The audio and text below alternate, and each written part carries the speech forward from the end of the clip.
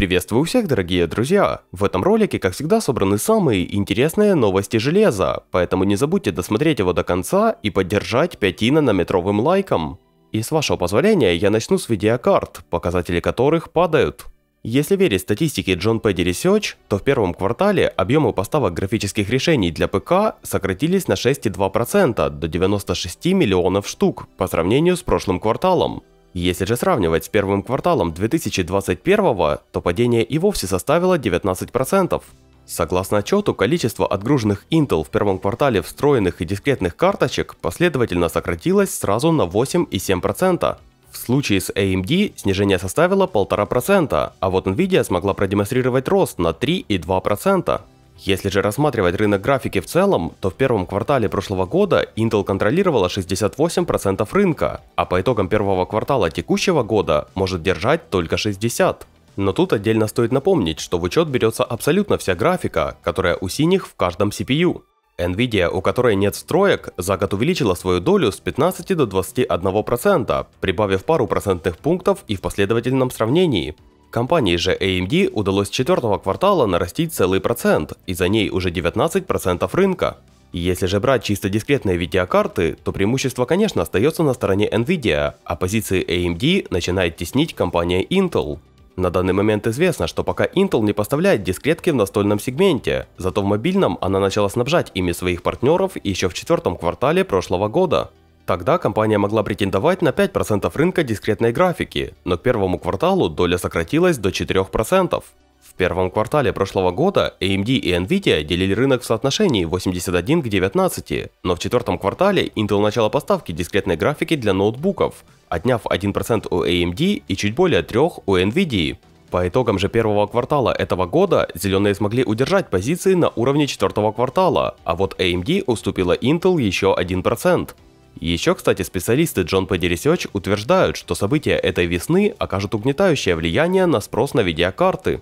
Однако по итогам этого года рынок все равно вырастет на 2-3%.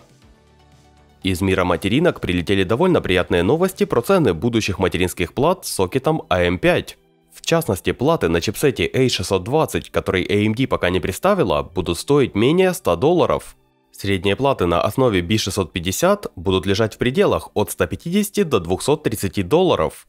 За модели на основе B650i и X670 попросят от 250 до 350 долларов, а платы для энтузиастов будут оценены от 300 до 500 долларов. Такие цены были озвучены компанией Gigabyte, у которой очень большой ассортимент плат, так что по ним можно ориентироваться и в целом. Отдельно стоит отметить, что платы на B650i и на X670 имеют примерно одинаковые цены, так как B650i получит больше слоев печатной платы для PCI Express 5.0. Но на самом деле пока сложно сказать, какие именно платы на X670 получат поддержку PCI 5 для видеокарты, поэтому с этим еще только предстоит разобраться. В целом же цены на платы не сильно-то и кусаются, однако потратиться при переходе на AM5 придется именно на память DDR5. Да и кстати, платы на B550 сейчас реально стоят недорого, поэтому сборки на AM4 еще очень долго будут актуальны. А ссылочку на B550M Aorus Elite я оставил в описании под роликом. В базе данных Geekbench появились данные о производительности загадочной видеокарты Xiaoxin под названием Glenfly Arise 1020. Видеокарта испытывалась в составе системы с процессором Gaixian компании Xiaoxin и материнской платой от того же производителя. А результаты испытаний видеокарты выглядят довольно странно, и она либо очень слабая, либо Geekbench не смог с ней нормально работать. Китайская графика набрала всего лишь 579 баллов, когда даже GTX 1650 набирает в том же тесте около 38 тысяч. Сама видеокарта Glenfly имеет на борту 24 вычислительных блока, а также 2 гигабайта памяти. И такая конфигурация вообще никак не вяжется со столь низкой производительностью в тесте. Наиболее близкой по быстродействию с Glenfly Arise является встроенная графика Radeon HD 6480G процессоров AMD начального уровня из 2011 года. Если же сравнивать с более современными решениями, то китайская новинка оказывается примерно в 20 раз слабее встроенной графики Vega 11 из Ryzen 5 3400G, или же примерно в 60 раз слабее дискретной GTX 1060 на 6 ГБ.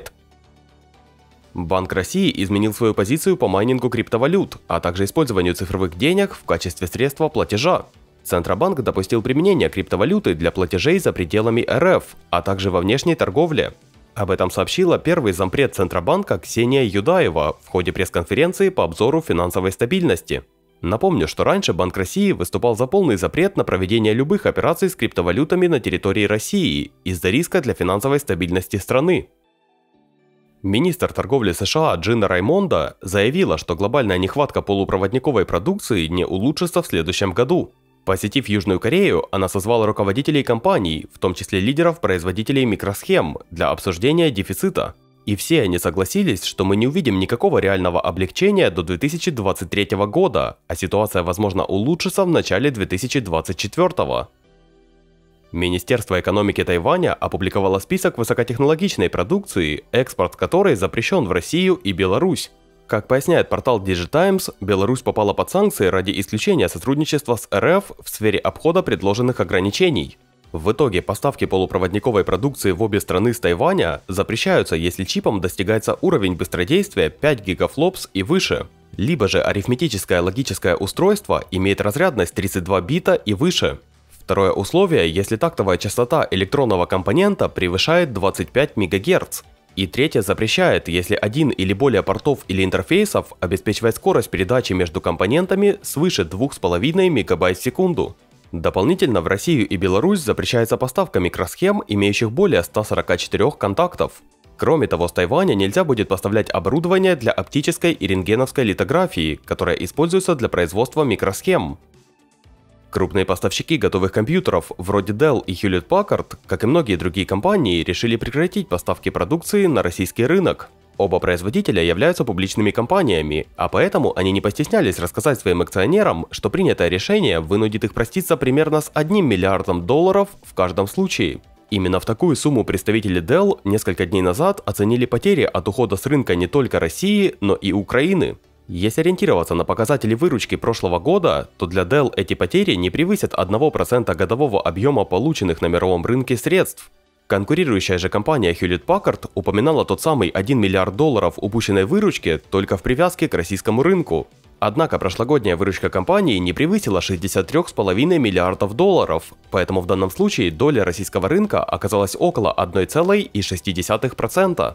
Кстати, Nvidia тоже оценила свои потери от ухода с российского рынка, и это всего 2% годовой выручки в целом и 4% профильной выручки от реализации игровых решений. Но поддержать финансово-таверну новостей в это нелегкое время вы всегда можете подпиской или донатом по ссылкам в описании. Я же, как всегда, говорю огромное спасибо всем, кто поддерживает ролики лайком и копеечкой. Еще больше новостей, как всегда, есть в моем телеграм-канале и группе в ВК. До новых встреч, друзья!